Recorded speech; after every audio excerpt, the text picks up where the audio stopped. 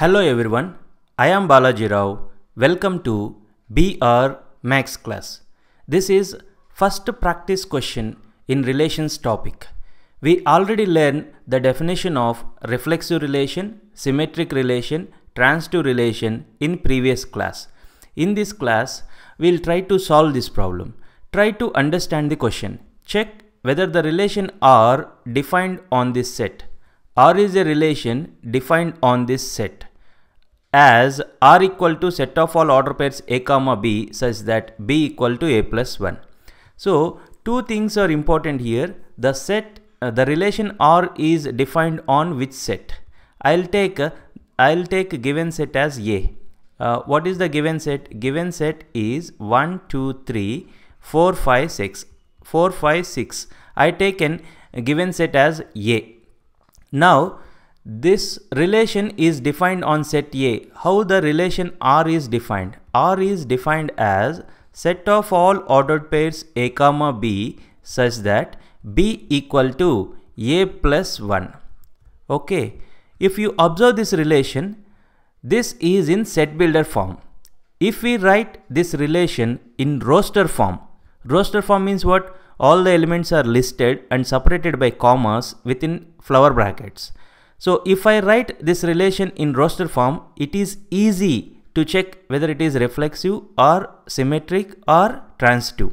So if you observe this, what is A? A is an element in set A. What is B? B is also element in set A. So here A and B are the elements in set A. Okay, I'll try to write this relation in roster form. What is A? A is an element in set A. You take first element 1 in set A. What is B? In the relation they given that B is A plus 1. That is A is 1 here. 1 plus 1 is 2. Ordered pair 1 comma 2. Now you take second element.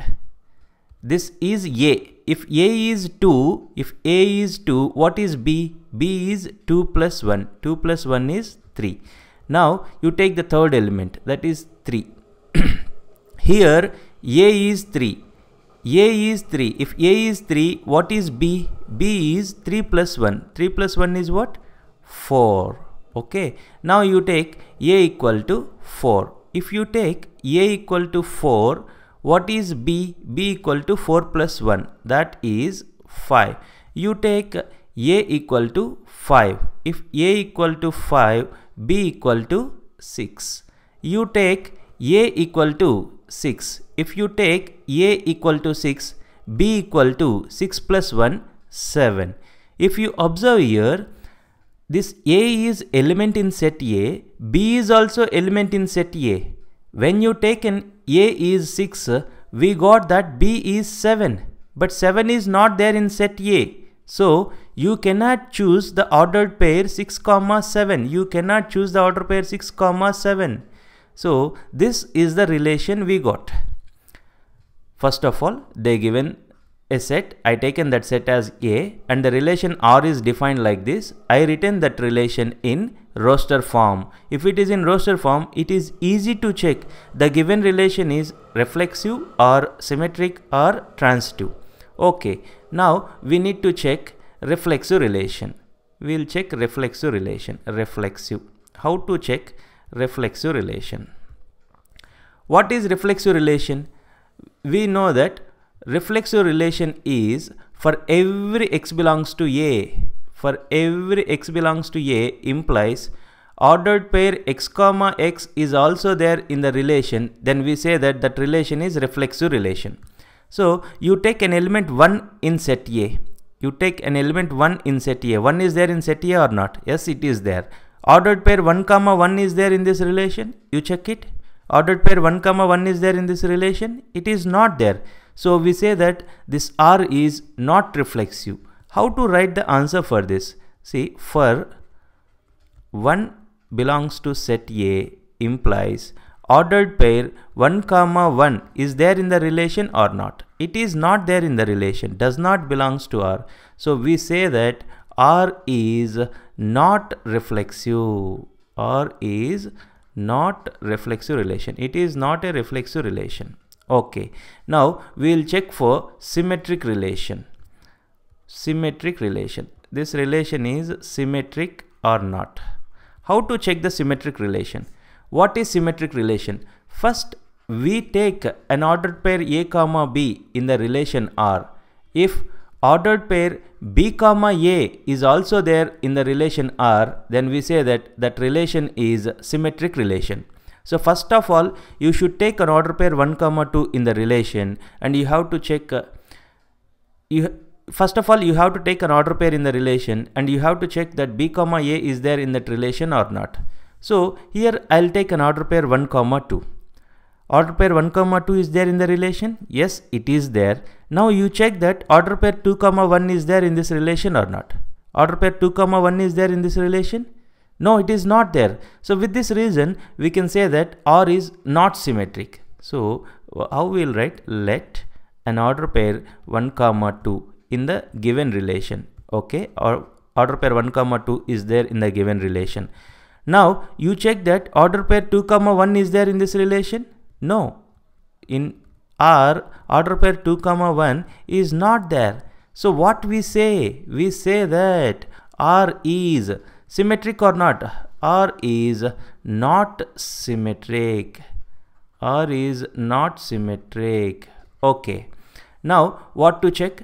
Uh, we verified reflexive property. It is not reflexive. We verified symmetric property. It is not symmetric. Now we will check uh, transitive property what is the transitive property? Transitive property first we'll identify a pair of order pairs which are in the form of a comma b and b comma c. First we will identify such order pair and we will check that order pair a comma c is there in the relation or not. Okay. Now we will follow particular procedure to check the transitive property. First you take an order pair 1 comma 2 first order pair you take. Now you observe that it ends with 2 this ends with 2 is there any order any other order pair which starts with 2 you check here. Is there any other order pair which starts with 2 yes here it is there. That means we identified a pair which is in the form of A comma B and B comma C. So what happened here? Uh, A comma B, B comma C. You check that A comma C is there in the relation or not. What is A comma C here? A comma C is ordered pair 1 comma 3. Ordered pair 1 comma 3 is there in this relation? No, it is not there. So it fails to satisfy the transitive property so that we say that the relation is not transitive. So how we will write this uh, for for the order pair 1 comma 2 is there in the relation and order pair 2 comma 3 both are there in the relation. We identified a pair which ends with 2 and starts with 2 now we are checking that a comma c. Ordered pair 1 comma 3 is there in the given relation. Ordered pair 1 comma 3 is not there in the given relation. Therefore r is not transitive. R is not transitive. So finally what is the conclusion? This given relation on the given set neither reflexive nor symmetric nor transitive. In next class, if you practice another 3-4 problems on this relations uh, topic, uh, you will get more clarity how to check a relation is reflexive relation, symmetric relation, transitive relation. I hope you understand this class. If you like this video, please press like button and share it with your friends and don't forget to subscribe to my channel to get more updates. Thank you.